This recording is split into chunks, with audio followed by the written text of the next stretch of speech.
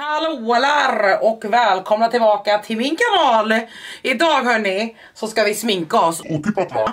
För idag ska vi nämligen sminka oss med mina ultimata favoriter. Jag har en eh, grej som jag brukar göra på min Youtube kanal. Det är om jag bara får behålla en. Och där brukar jag göra det ungefär en gång om året. Och vanligtvis brukar jag mest prata om mina allt absoluta favoriter. Och då pratar vi liksom om jag bara får välja en enda produkt i varje kategori. Vilken skulle det vara?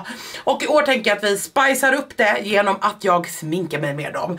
Och jag har slängt ihop både lyx och budget i samma. Här har vi den one and true only, woo! Om jag bara fick välja en. Och några av kategorierna kommer 100% att ändras till nästa gång och några av eh, kategorierna har liksom hängt med i flera år. Så jag tänker helt enkelt att vi hoppar in. Om du inte prenumererar än, glöm inte bort att trycka på prenumerationsknappen. Jag gör sminkcontent året runt, året runt, året runt, varje vecka, dag in, dag ut. Jag vloggar också lite grann och resevloggar lite och så och jag hoppas att ni skulle vilja vara med kvar på kanalen. Nu hoppar vi in, jag har satt upp håret, jag har inte borstat ut lockarna.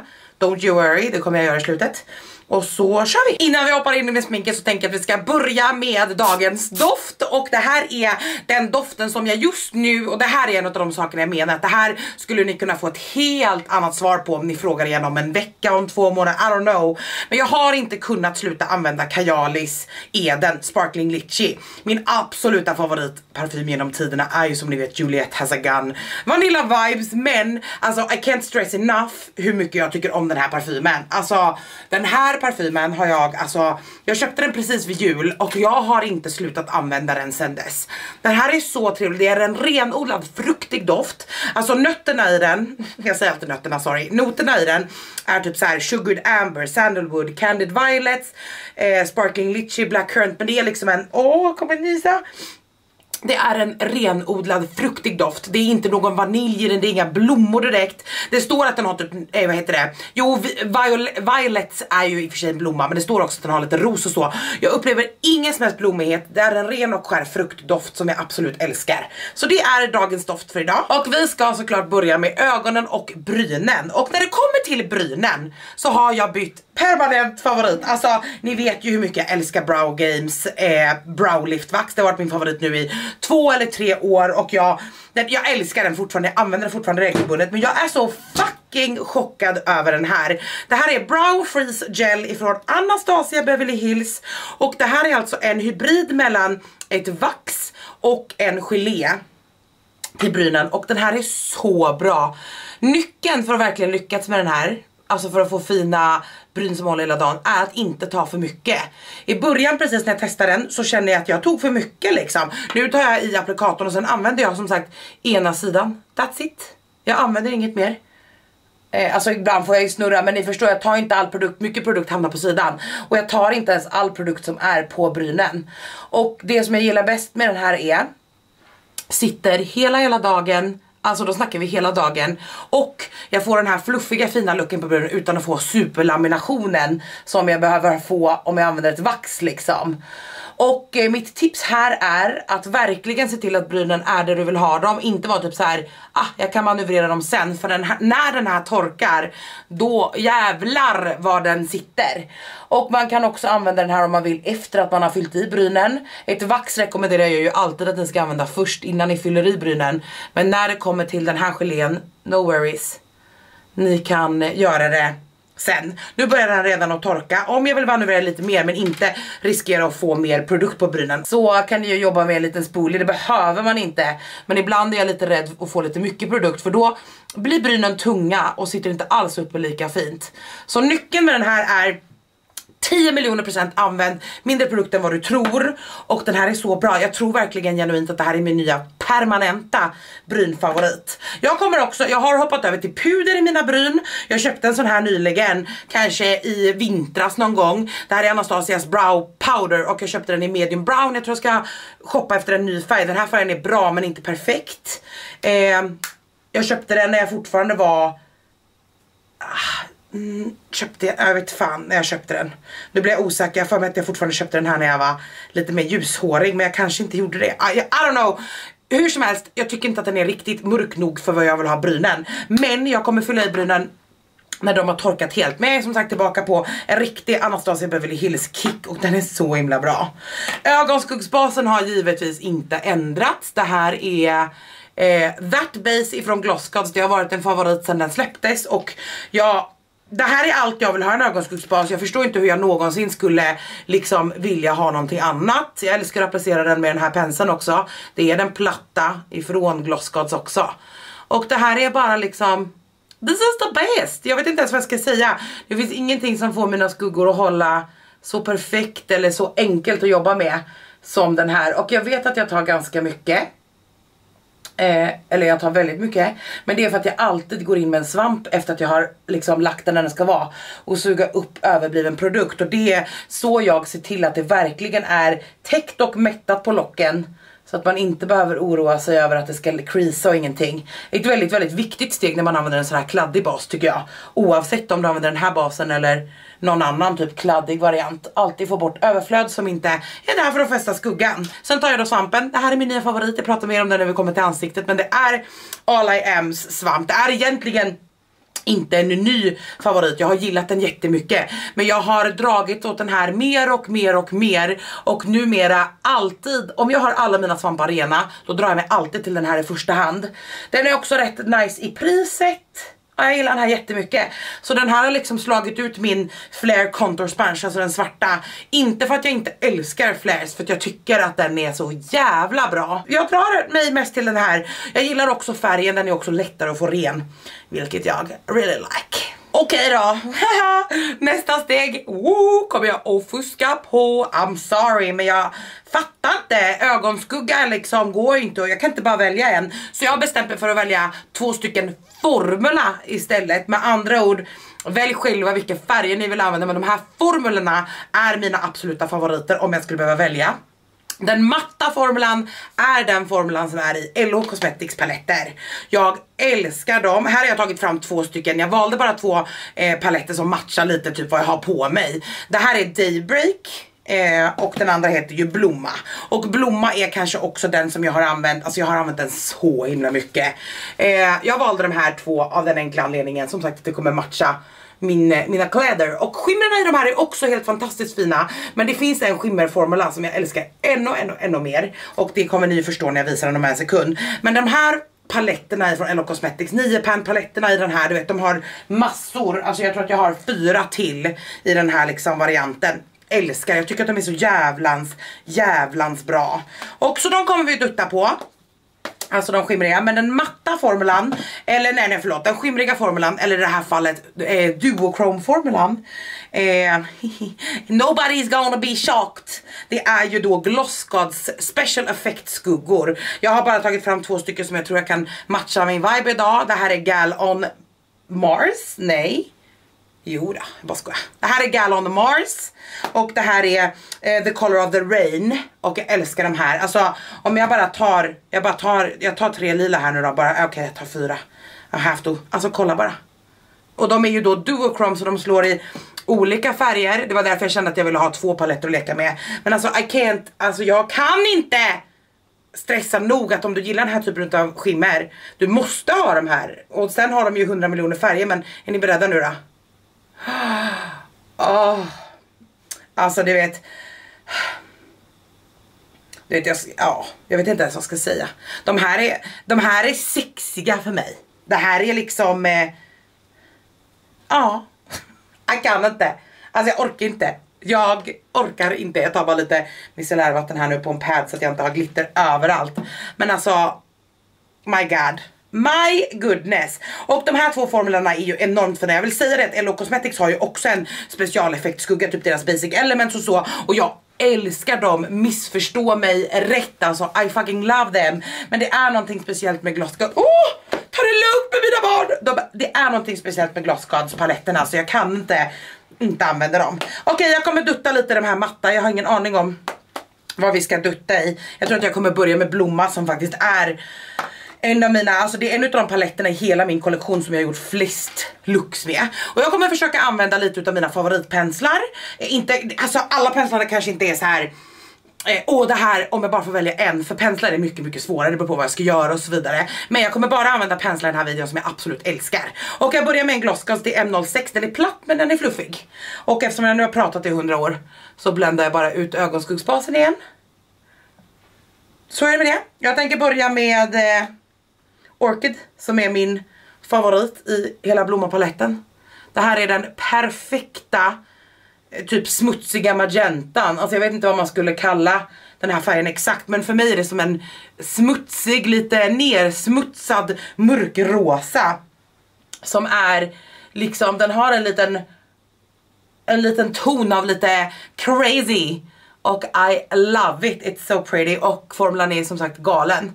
Eh, jag tänkte göra en sotning idag för att det är lättast att demonstrera de olika skuggformerna. Formulerna hoppar in med en till pensel, det här är Glossgods M09. Jag tar lite grann utav samma skugga och sen man kan blända med eh, 06an, den här delen. Men det går liksom lite snabbare med den här stora fluffiga och jag ska ändå gå in med en annan färg på den här. Så so that's fine. Och jag bara bländar den här. Jag vill inte att kanten ska vara så hård men jag ska komma in och blända med en till eh, över här. Absolut ljuvlig färg den här. Alltså jag har gjort så många looks. Ser ni en look någon gång med den här ni vet rosa mörka bubbelblå då är det nästan alltid blomma. Jag tycker att det är en helt fantastisk palett. Den har faktiskt vunnit mina årsfavoriter också något år, oklart när. Nu kommer jag hoppa in lite i den här och ta lite av Daybreaks eh, Lavender heter den. Samma pensel. Och sen så då smutsar jag till den här lite grann ytterligare då. För att den här är lite lila grå typ. Och det är bara för att det ska matcha mina kläder lite mer. Och den bländar jag då precis över och den här är också absolutely lovely. Alltså jag älskar den matta Formula från Ello. Okej, okay, jag kommer lägga de här skuggorna även under ögat, men nu ska vi hoppa då på eh, lite skimmer och jag tror att jag kommer blanda lite rosa, lite lila och med en sån här multikrom då, då får man ju titta liksom från alla vinklar annars kan man ju bli tvärlurad vad man sätter på ögat. Men jag tänker att jag har inget problem att bli tvärlurad plus att jag har använt de här ganska mycket. Jag tror att jag börjar med Rain Cloud som är lite mer typ blå. Så att vi får lite mer, eh, matcha lite mer här. Och den lägger jag då mitt på, alltså kolla bara. De här är också, när man inte har några naglar som jag har nu då, så är det också sjukt enkelt. Alltså kolla bara vilken payoff. Och lägga den här med fingrarna. Och sen brukar jag liksom blända, dutta lite och sen kan man blända lite till med, med ett eh, med, med ett pensel, en pensel efteråt. Jag tror att jag tar light break. Det är en så färg, fin färg.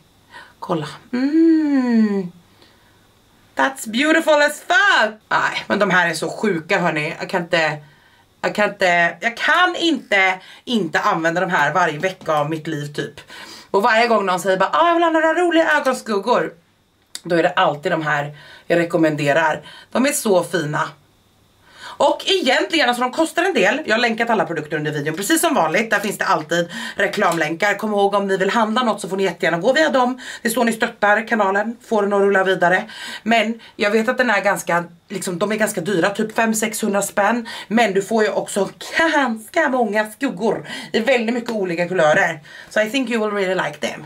Okej, okay. så blir ögonlooken. Det blir inte mer avancerat än så för jag ska använda eyeliner idag. Jag älskar att använda eyeliner men jag gör ofta så himla mycket på ögonen och så vidare så jag brukar inte använda eyeliner jätteofta på kanalen men jag använder eyeliner, en röd läpp och en svart eyeliner är liksom min go-to look, det är det bästa jag vet. Jag känner mig aldrig så snygg som jag gör i det. Och jag är, om jag får säga det själv, ett riktigt proffs på eyeliner. Alltså vi snackar, jag är så duktig på eyeliner, du kommer gå åt helvete bara för att jag säger det. Och eh, jag har testat ta med fan varenda eyeliner på marknaden typ. Och det här har varit min favorit. Ett tag så använde jag lite mer annat och typ glömde den här men egentligen inte men det är min favorit och det här har varit min favorit igen och nu har jag verkligen insett hur jävla bra den är för att den bruna släpptes och det är ju inget mindre än Roller Liner ifrån Benefit. Den har vunnit mina årsfavoriter, den har varit med i mina såna här, om jag bara får välja en video, vid uppsjö gånger, så, så många, många år. Och det här är en helt fantastisk eyeliner, jag älskar den, den sitter jättefint, den är lätt att skölja bort på kvällen. Eh, den går fint över skimmer, alla sådana saker. Och den bruna är skit, skittrevlig, jättefint om man vill ha lite mjukare. Jag visar jag ville bara visa att det finns i brunt men jag kommer använda den svarta idag. Och då gör vi en liten eyeliner helt enkelt. Jag brukar dra här ute, tjopp. Och så hela vägen in och sen är den klar. Jag sa ju att jag var duktig på eyeliner. Eh, och sen så fyller jag ju bara i. Och här vill jag säga då, när man lägger en sån här multi, alltså jag går bara längst ner här nu då. När man lägger på en sån här multichrome skugga, det kommer vara svårt att få den helt, helt, helt svart. Jag personligen bryr mig inte om det. Eh, Alltså det gör ingenting om skimret liksom hamnar. Det kommer vara svårt, vill ni använda en eyeliner och den ska vara svart svart då kommer ni få lägga svart ögonskugga över eyelinern för att få bort skimret lite. I don't care. Det viktigaste med eyeliner är att få rätt, äh, vad heter det? Längd och eh, vinkel. Men kom ihåg det är fucking bara eyeliner, det behöver inte vara perfekt. Ingen kommer gå till dina ögon och säga varför är det inte perfekt? Alltså nobody cares. Någonting jag alltid gör när jag har använt dem på så här skimriga är att torka av den så att nästa gång som jag ska använda eyelinern så är den svart svart och inte skimrig från det här andra. I fucking love this one. Vill du ha en bra eyeliner så är rollerlinern ifrån Benefit all the rage. Mascara, behöver jag verkligen prata mer om Idus 38-gradiga vatten mascara? Den heter alltså vatten, volume 38. Det finns ingenting som den här mascaran. Jag säger det fort sen så lämnar vi det här bakom oss. Jävlar vad jag tjatar om den här mascaran. Man kan tro att jag är Iduns officiella ambassadör. Det är jag inte. Jag har aldrig fått en spänn av Idun. Men alltså jag kan inte beskriva med ord hur mycket jag älskar den. Den finns i brunt nu för er som inte vet det. Den finns ju då, ja här var den bruna. Den finns också i blått. Den är också här någonstans. Här har vi den blå. Så det som finns nu då är brunt, svart och blått.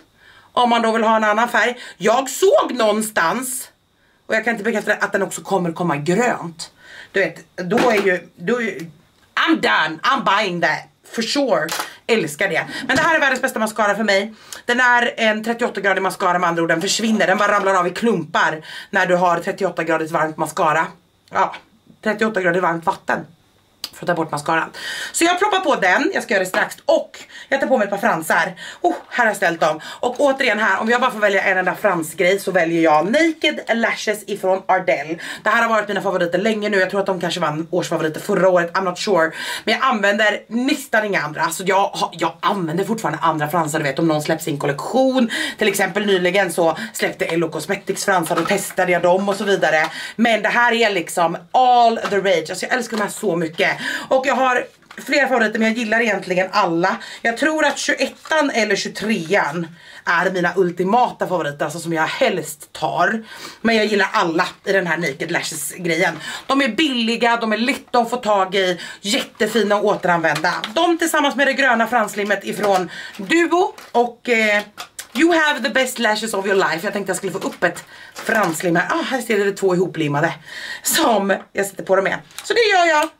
Och sen går vi vidare. Okej okay, hörni, fransarna är på. Jag ska bara fylla i mina bryn lite grann då. Eh, och jag har inte, fan alltså, jag är inte riktigt nöjd oavsett vilket bryn, vilken brynpensel jag använder. Så blir jag liksom aldrig riktigt nöjd. Men jag använder då en snedskuren. Den som jag gillar allra mest är Anastasias nummer 12. Den har jag haft också sedan tidernas begynnelse. Men fan jag har slarvat bort den eller? Jag den så inåt helvete har jag slarvat bort den. Så jag tar bara något, det här är en snedskuren från Flair. Den är egentligen lite tjock men det jag egentligen vill är, jag blandar den här då, mest det mörka och världens minsta spegel. Och vad gör jag då? Jo jag fyller mest här ute, precis i archen. Precis här i liksom själva, vad ska man säga, lilla väcket. Och nu la jag jättemycket produkter. Så liksom fyller jag i. Åh helvete! Det var mycket produkt.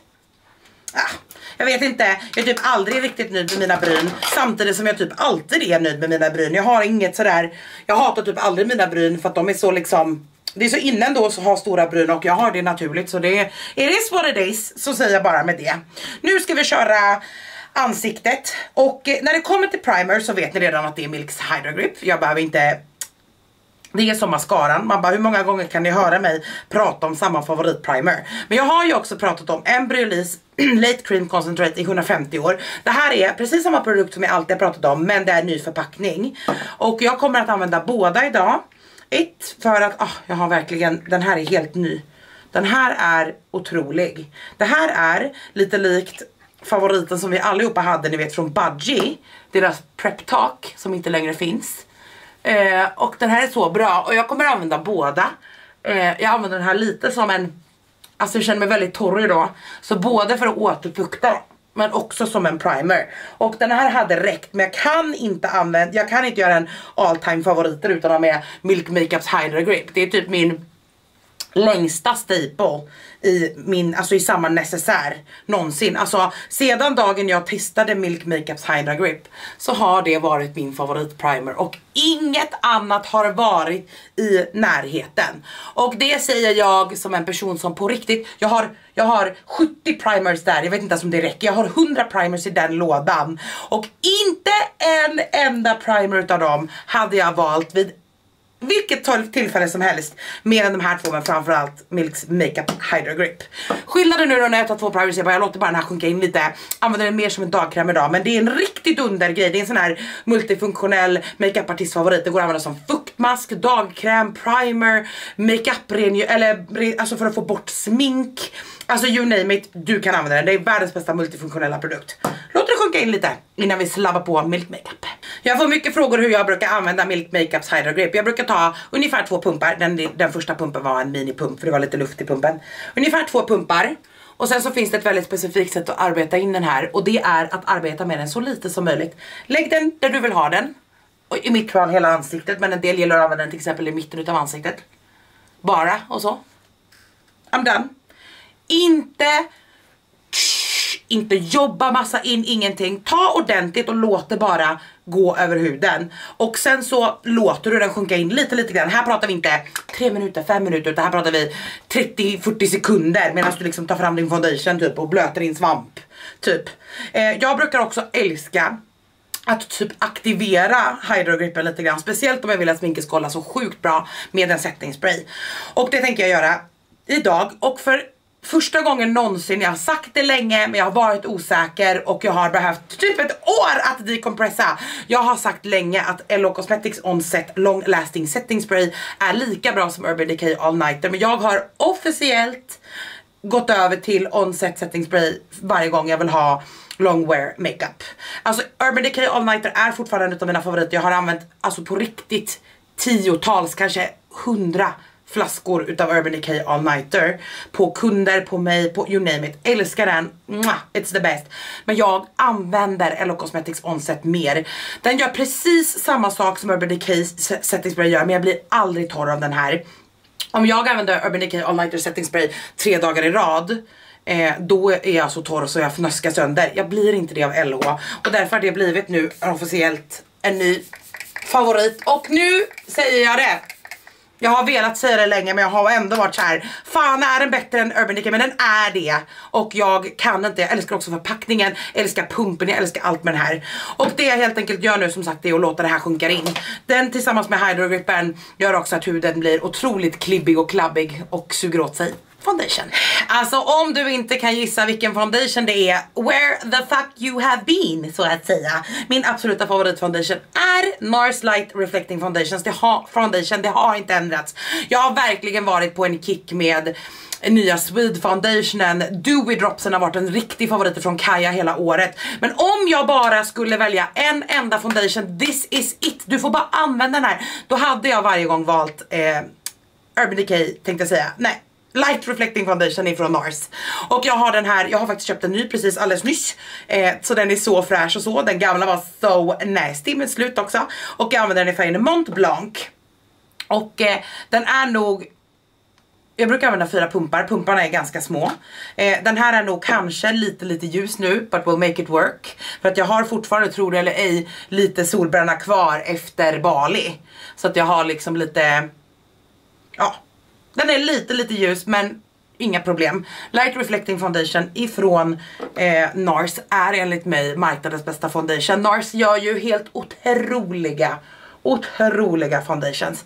Och eh, jag älskar light reflecting. Alltså jag vill göra en ny, jag har en äldre video på min kanal som heter Eh, gör wear-test, alltså ni får se hur den håller under hela dagen och så på alla NARS foundations. Jag har också gjort det tidigare med Lumen, det är en av mina mest visade videor någonsin på kanalen. Jag har gjort det med Max foundation, jag är lite sugen på att starta den serien igen och då är det liksom fulla wear test. Jag sätter på mig en foundation på morgonen, använder den hela dagen, ni får följa med och sen så dagen efter så använder jag nästa NARS foundation liksom och så, så ni får se hur den ser ut på min hud, hur den applicerar och framförallt hur den håller.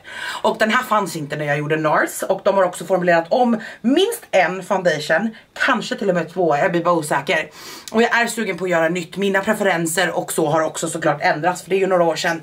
Men det här är i alla fall Se till om ni vill se såna videor och i sådana fall om jag gör såna videor med alla foundations från ett märke i en och samma video. Vilka märken vill ni se? Ska vi göra en ny på Lumene? De har ju gjort om alla sina foundations. Ska vi göra NARS? Ska vi göra Maybelline? Alltså förstår ni? Vad ni vill skriv i kommentarsfältet så ska vi se om vi kan dra igång den lilla serien igen om ni är sugna.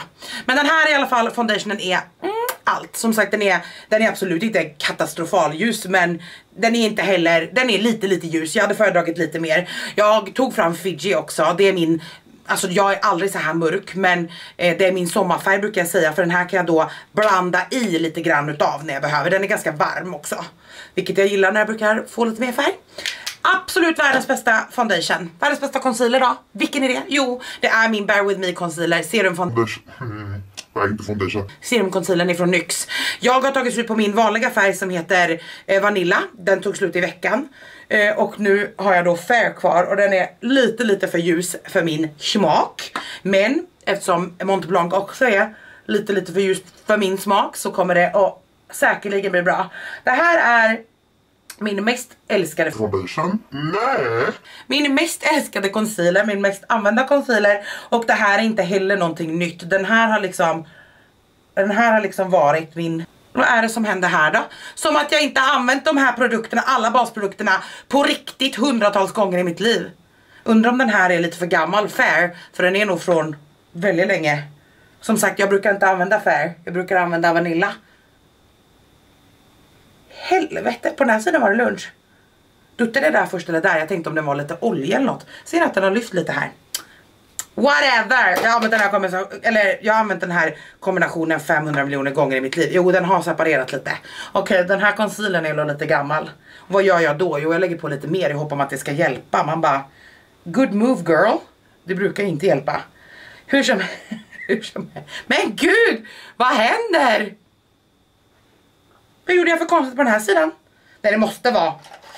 Jag tar en liten pensel och ser om det blir bättre. Ja, lite bättre. Det måste vara, jag ska slänga den här. Jag ska beställa en ny Vanilla som ändå är min färg. Färg är inte det, den är för ljus. Men jag förstår inte, det måste ju ha varit att den formulan är lite ga gal, eller vad heter det, gammal. För när jag säger att jag har använt Hydra Gripen, Embryolise, Onset Setting Spray, Nars Light Reflecting och Vanilla Concealern, eller NYX Bear With Me. Då menar jag, alltså jag har använt det hundra gånger ihop, jag ska inte. Det är min absoluta go-to kombination och har varit alltså i, alltså i år nu. Men nu blev det lite bättre. Jag tror att den hade separerat sig lite. Det ser inte perfekt på näsan men okej, okay, it's not perfect. Note to self, släng den här. Lämna en kommentar i, under den här videon. Margareta har du slängt concealern än? För att om inte annars så går jag och gör det så kunde ni se den här videon. För åh, oh, nu duttade jag concealer i håret, kolla. Oj oj oj. Lillvän. Det går sådär nu. Okej, eh, okay. jag hoppar puder en liten stund för att jag ska använda krämprodukter på mitt ansikte. Och alltså du vet jag tog direkt, när jag skulle ta bronsen så tog jag direkt fram mitt Milk Makeup Bronzer Stick. Och sen inser jag hur lite jag har använt det här sista året. Jag var tvungen att gå in på min kanal, jag sökte, jag tittade. Men det finns en bronzer som jag använder Fy fan vad mycket mer jag använder den. Och jag vill verkligen säga att det här är min favoritkrämbronzer genom tiderna. Men det finns någonting som släpptes förra året som jag använder jag, jag, jag, drar mig till den varje gång. Och det betyder inte att jag inte älskar milksticket fortfarande. Men alltså Makeup by Marios jävla krämbronzer är... Jag förstår inte. Alltså jag förstår inte vad som är i den här. Till den här foundationfärgen för övrigt så är ju den här färgen jättebra. Men jag ska köpa mig en lite mörkare. Jag kanske borde göra det innan den här videon går live för sen är den väl slut. Eh, efter en sån här video. Men det här här på riktigt en av de finaste bronzers. Den heter för övrigt inte bronzer, den heter Soft Sculpting Transforming Skin Enhancer. Men det är i alla sense of the word, word en bronzer. Kommer i bronzerfärger liksom och du vet typ så, åh den här är så bra! Jag kan inte, jag har aldrig testat en krämbronzer, den vann ju mina årsfavoriter och så så det är inget konstigt att, att jag vet att jag tycker om den men jag kan inte förstå hur mycket den här har ersatt min milk makeup grej. Dock vill jag säga att min makeupet är ju jävligt smidigt med sticket, typ när man ska ha med den och så. Men alltså den här är perfektion och jag kan inte släppa hur mycket mer jag använder den här framför andra krämbronser i mitt hem. Och I fucking love it. Eh, bara för att jag vet också, och idag ska vi göra båda. Jag ska använda både puderprodukter och krämprodukter. För att jag vill ju såklart också att ni ska få en pudervariant i de här videorna. Och inte bara, alla gillar ju inte krämprodukter liksom. Så ni ska också få en, en puderprodukt. Men jag kör krämprodukterna på ansiktet först. Och jag tänker hoppa till highlighterna. När det kommer till highlighter så älskar inte jag flytande highlighters. Sculpting lighten ifrån ehm, Shaping lighten heter den förresten, inte sculpting. Shaping lighten ifrån LO Cosmetics är en favorit men det är mer typ en min favorit glow produkt. Om jag vill ha en highlighter i flytande då är det eh, den ska jag inte använda då. En Rare Beauties eh, Liquid Luminizer och jag har tre färger. Det här är Mesmerize och Enlighten, de två som jag använder allra mest. Jag kommer använda Enlighten idag. Och när jag använder den här produkten så använder jag den alltid innan eh, blush. Och det är bara för att jag vill det är bara för att jag vill att de ska blanda ihop som finast. Jag tar samma borste som jag använde här nyss, det här är Nickap pensel. Och den här är enormt vacker. Alltså de här är så fina. Framförallt så sitter de fint hela dagen, vilket många highlighters i flytande form inte gör. Superfin att blanda ihop med din foundation, superfin att blanda ihop med ditt blush. Super, superfint på alla sätt och vis. Jag har ingenting att klaga på de här. Jag älskar förpackningarna, jag älskar allting. Mesmerize har varit en favorit att blanda ihop tillsammans med rougen. Och det är ju precis det jag skulle säga också. Mitt favorit flytande rouge, det är ju Rare Beauties rouge. Jag har minst två färger till men de var inte här just nu, man vet aldrig var de är någonstans. Och idag tänkte jag att vi skulle använda Encourage, ska bara hitta den någonstans, där är du. För den är kall och jag tror det kommer passa bäst till den här sminkningen. Mina, alltså jag har egentligen tre favoriter. Jag gillar alla, jag använder alla som jag har kvar här. Jag har köpt alla själv, om någon undrar, ja crazy like that. Eh, det här är då Hope som är neutral. Sen har vi Joy, nej, jo, Joy som är varm.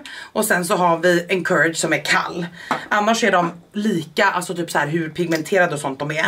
Och här då så behöver man ju då inte mycket produkt. Dra åt helvete vad man behöver lite produkt. Och eh, man får jobba ganska fort med de här. Jag vet inte varför jag duttade på båda sidorna, det är jättedumt faktiskt. Men jag börjar alltid med att dutta ut snabbt med fingrarna eller med en borste så att den inte blir fläckig.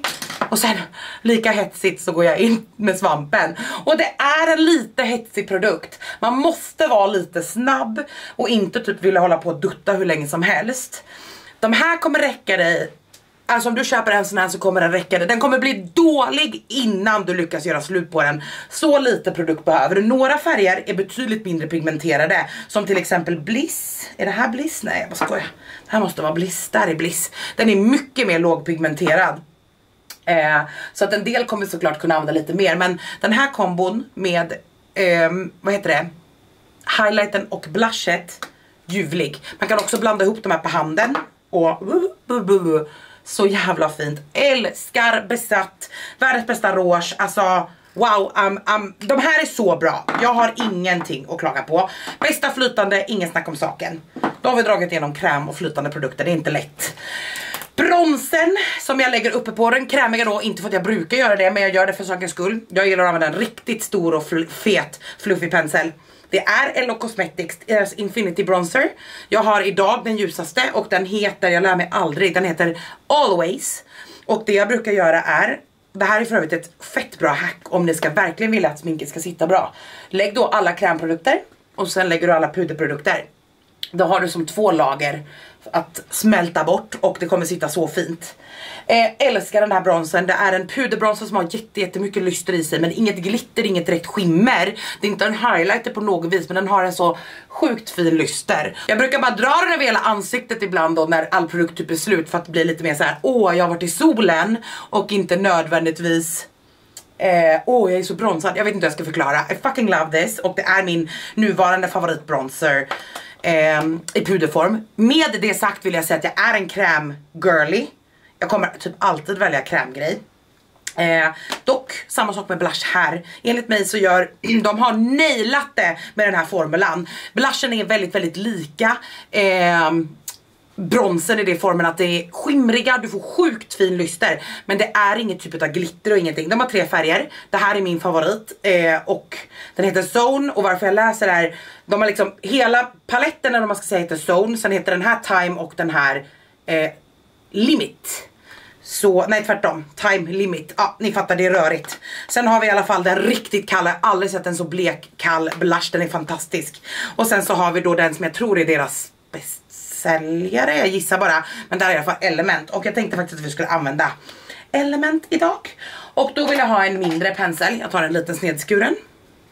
Eh, och sen så tar jag då den här uppe på encourage. Och nu har jag redan, tycker jag själv, ganska mycket blush så jag kommer bara eh, lightly lightly dust days.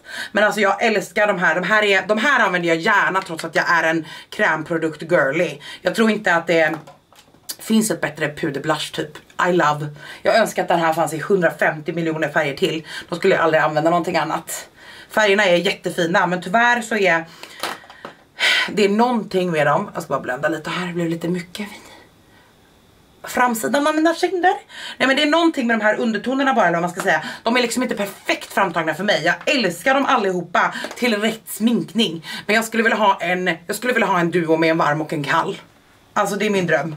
That's my dream. Och highlightern, den är ny. Oh my god jag har en ny highlighter, ultimate favorite highlighter Det är Anastasias nya jävla highlighter Den här heter Glow Seeker i Sun Idol Och eh, nej jag har inte tagit bort den här plasten på insidan Den här jäveln använder jag fucking varje dag i mitt liv numera. Det syns för övrigt inte ens. För att den här är så jävla hårdpackad. Den här kommer liksom hålla för alltid. Kolla bara. Det här är Hiccups pensel ifrån adventskalendern. När ska de släppa de här? Den här är skitbra. Jag längtar tills ni kan få händerna på den här highlighterpenseln. Nej men alltså, det är som en liten flare brush. Den här highlightern är allt. Den här är allt. Jag har sett att de har släppt den här formulan i typ en lite mer pinky version. Alltså lite mer rosig och jag måste köpa den också men jag kan inte beskriva med ord hur mycket jag älskar den här. Och det här känner, jag känner bara typ att ett tag här nu så har vi varit lite trötta på Anastasia Beverly Hills men just nu så släpper de så jävla mycket bra. Jag är så taggad på de här BB-sticken som de har släppt slash kommer släppa i Europa snart. I'm so excited och den här är bara så fin. Jag har inget att säga. Jag sprayar mig loss med setting spray.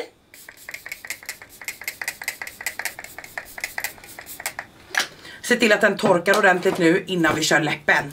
Och eh, oh, den här settingsprayen är så bra. Alltså den är så bra. Som ni märker, det, den, den liksom märket som jag älskar allra allra mest det är ju, LH är ju i klar ledning på den här videon kan man ju säga. Det är ju ingen chockerande.